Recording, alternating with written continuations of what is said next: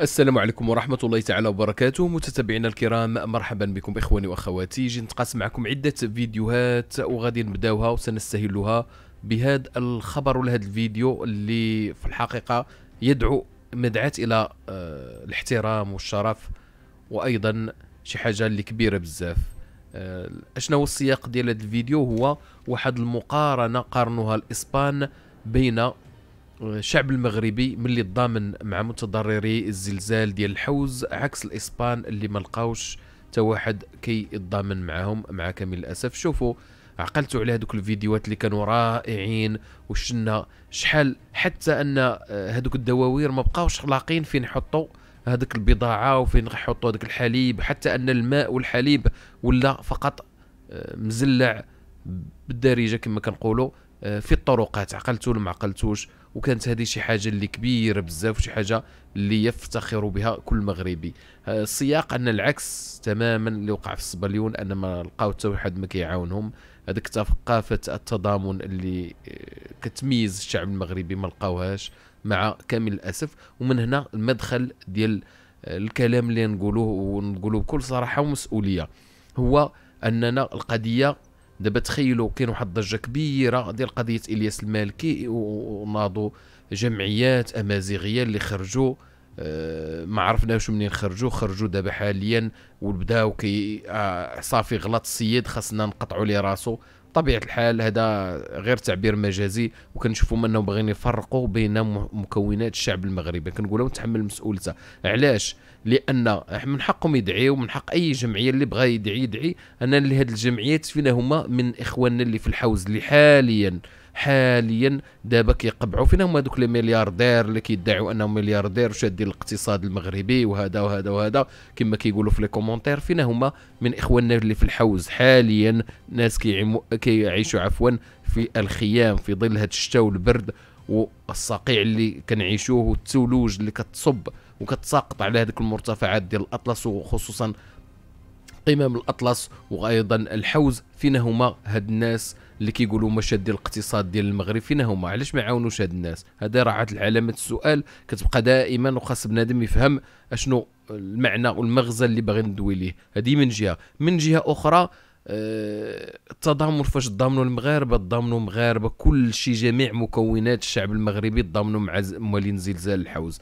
فما يمكنش تقول لي أن وحدين نضامنوا بل بالعكس هذا العبد ربي من خلال هذه القناة كنت كنحارب الناس وخا يكون أمازيغي اللي كيبغي يستغل الضعف ديال هذوك الناس. اللي بطبيعة الحال هما فئة امازيغيه ولكن هما مغاربة فوق كل شيء وراي وحده كتجمعنا ما بغيتش واحد اللي اللي ملقب بحديدان الأطلس اللي كان كيمشي يدير لهم الخيام وهذا باش باش يضرب كل شيء في جيبه ويعاون عائلته بلاص ما يعاون هذوك الناس وكان كيجمع على ظهرهم الفلوس. هذاك النصاب راه بقى في أنا الحال شخصيا. علاش؟ شخصيا لأن ما نبغيش واحد كما كان الجنس ديالو كما كان من يبغي يكون أنه يتفلى ولا يضحك ولا ينصب على هذوك المعاناة ديالهم باش هو يدخل الفلوس على ظهرهم من خلال هذاك الإحسان العمومي. هذه نقطة وغادي نسدوا بها هذا القوس ديال الفيديو الأول وندوزو للفيديو الثاني اللي خطير جدا وهو أن واحد المتوفي شفروا لي ساعة رولكس تخيلوا أنه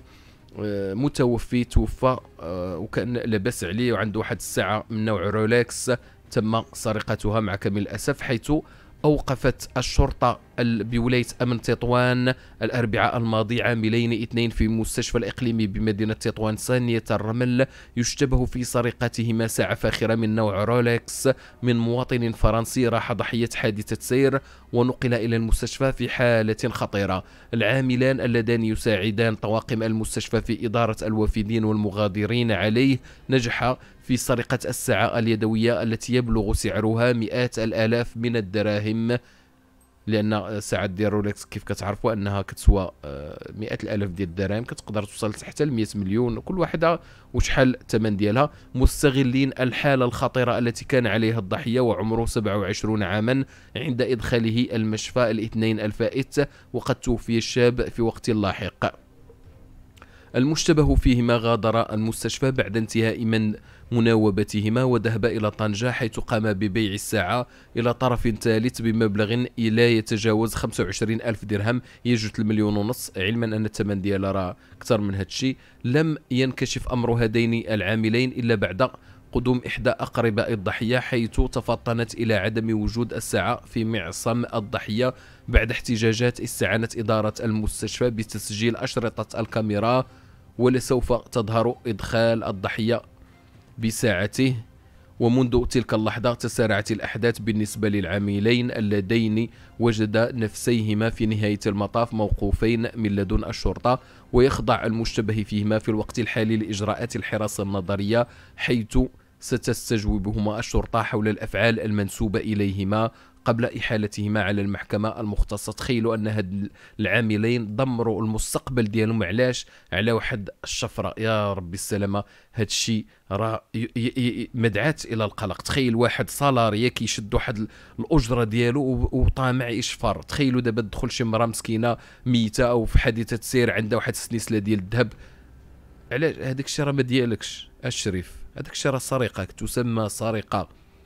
والسرقة هي أخيب حاجة كاينة في الدنيا. كاع اللي كيسرق ما عمرو كيكون منبود والحالة ديالو كتولي متضعضعة. كاع اللي كيسرق كيكون من من من أكثر أكثر الحالات اللي تقدر تشوفهم هو ديال هاد السارق ولا حول ولا قوة إلا بالله. بنادم يثبت شي شوية وعاطيك الله حظ رزيق آه، القناعة. قناعة إخواني وأخواتي اللي ما قنعش راه ما دار والو. في الدنيا راه دار فناء راه غادة. راه غدا تقدر من بين ليلة وضحاها تقلب على أربعة المرات ولا خمسة فلا حول ولا قوة إلا بالله الواحد. اللهم يا عباد الله اللهم فاثبتوا هذه بخصوص هذا الخبر غندوزو لواحد الخبر ديال البكائيات ديال أسماء بيوتي والقضية عندها. راه عندها واحد المشكل كبير كبير كبير بزاف لأن آه، شوف تيفي دخلت على الخط وأيضا ال YouTuber تحفة من أمريكا تو دخل على الخط والقضية عندها مشابكة. أه كتقول الناشطه عندنا شوف تيفي تابعة هاد الأيام وكتحرض عليها مديرية الضرائب. دابا المشكل اللي دارته أه أسماء بيوتي. أسماء بيوتي ما غنية على التعريف كلشي كيعرفها هي والزوج ديالها. هي أول وحدة دخلات لينا الدراما ديال الأس... الدراما الأسرية. هي أول وحدة بدات هاد المشوار ديال الروتيني اليومي والدراما الأسرية. الدراما الأسرية كانت كدير أنها كتخاصم مع أهل الزوج ديالها وهذا ودارت لنا أفلام. مع كامل الأسف النسوة عزيز عليهم داكشي وبعض الرجال ولكن غالبية النسوة عزيز عليهم هاد المسلسلات. بحال بلاص ما تشد واحد المسلسل ديال اللي كيجيبوه في رمضان ولا شي مسلسل تركي أو قديما كان مسلسل مكسيكي عزيز هذيك الدراما. دابا ولا الدراما كتصاوب في مواقع التواصل الاجتماعي بأبخس الاثمان فقط كيجيبوا مشاكل ويجيبوا راه المهم نعيمة نعيمة عفوا البدوية وغيرها الكثير ويونس وسعاد مراته وهذاك آه، اللي كان اللي مشدود في الحبس واحد تا آه، هو وجميعهم فقط. هذيك شنو هما؟ الخصال و والهاشمي أو أظن. مهم هذوك كاملين الدراما المنزلية الدراما وما ولا غيرها. ولا شيء غير الدراما. هذيك الدراما علاش مبنيه مبنية فقط على واحد المشاكل العائليه حنا المشكل ديالنا أن بعض النسوة عندنا عزيز عليهم الفضول عزيز عليهم تتبع هذا الشيء شفنا هذا الشيء في الميلودي القضية ديالو اللي كانت مبنية على صفر على هذا شنا قضية الدنيا باطمه والتحجيم ديالها والتكبير ديالها والعصابات والسما المزرقطه كل شيء هذاك الشيء ودابا الدراما المنزلية وما أدراكم ما الدراما المنزلية. هاد الدراما المنزليه كتمكن الصحاب ديالها ملي كيكونوا والو منعدمين ما عندهم حتى شي ريال كيوليو بين ليلة وضحاها عندهم الفيلات والمقاهي وصالونات الحلاقة واللي بغيتو هلم جرا والمشاريع والشركات والسيارات الفاخرة. دير الدراما تربح. هذه من جهة. أسماء بيوتي آه، الرائدة في هذا المجال دابا مشات دارت واحد الرحلة اللي ما فهمش القصة شنو وقع دارت واحد الرحلة هي والزوج ديالها والأبناء ديالها الله يخلي ليها وليداتها. مشات كتبين أنها مشات لتركيا. بطبيعة الحال تركيا راه واحد الوجهة سياحيه اللي ولات غالية بزاف وهي أكدت بأنها كتخسر 800 آه، ألف فرانك أي 8000 درهم حتى ل 10000 درهم في اليوم. تخيلوا كانت السيدة كتخسر 8000 درهم و10 بعد اولا كيفاش دارت باش خرجت الفلوس ديالها بالعملة الصعبة هذه؟ أول حاجة. ثاني حاجة هذه راه أموال باهظة. دابا فاش خرجت هذا الشيء الناس آه، ردوا البال قالوا أو كيفاش كتخرج؟ مشات 10 أيام ولا 15 يوم كتخسر اذا هذه خاسره 20 مليون ولا 15 مليون. اذا هذا الشيء راه الأموال اللي كتخسرهم يوميا راه لا لا, لا, لا لا مجال للمقارنة ولا مجال. اذا هاد السيدة أشنو كدير هذا؟ شوية نوضوا لها واحد الصداع ديال مديرية الضرائب. قالوا راه خاص هذه تحرك مع مديرية الضرائب بما أنك كتخسر هاد الأموال. واش كتخلص هذيك آه، السومة اللي خاصها تخلصها؟ واش دايرة الشركة واش آه، هاد الشيء دابا المشكلة هاد الشيء غادي يجر على الجميع.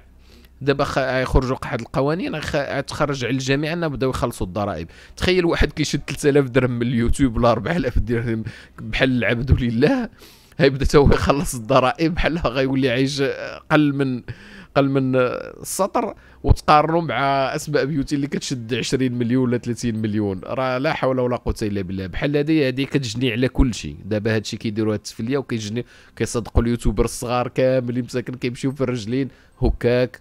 عنوة دائما. هاد اليوتيوبر كيخلق كيخلقوا المشاكل لجميع الناس ولكن سرهم. وثاني حاجة آه الاخت الأخت أسماء آه بيوتي أنها دابا جات في واحد المرحلة ديال التقهقر. صافي الفترة ديالها أو l'ère ديالها أو الزمن ديالها انتهى. دابا جاو وحدين أخرين جا إلياس المالكي جاو ناس أخرين جاو أصحاب streamer جاو الناس اللي كل عهد وعنده. دابا هادشي ديال البدوية وغيرها وغيرها وغيرها. هذه غادي توصل لواحد المرحلة وغادي صافي الناس غيطلعوا عليهم في راسهم آه، ما يبقاوش يبغيو الجديد يبغيو أسر جديدة يبغيو وهذا كل شيء غادي وكيتطور. وهذا الشيء ديال مواقع التواصل غادي تشوف فيهم العجب والعجب والعجب غير الواحد ما خصوش يبقى يثيق في هاد المحتويات اللي فقط الهدف ديالها هو إثارة البوز باش يدخلوا أكبر قدر ديال آه، الفلوس. المشكلة هاد الفلوس اللي كيدخلوها واحد فلوس آه، اللي بصحتهم هذاك الشيء رزق عطاهم لهم الله ولكن أن الحياة الشخصية راه ما عندهاش القيمة.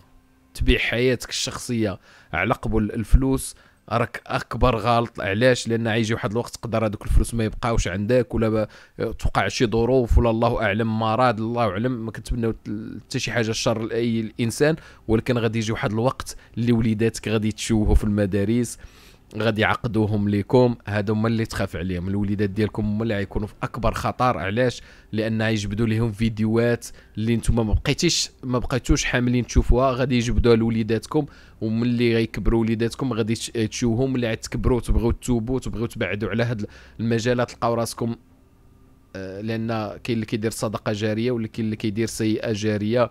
خصوصا إلا كان شي محتوى اللي لا يليق وفيه الفتن وفيه بزاف الأشياء.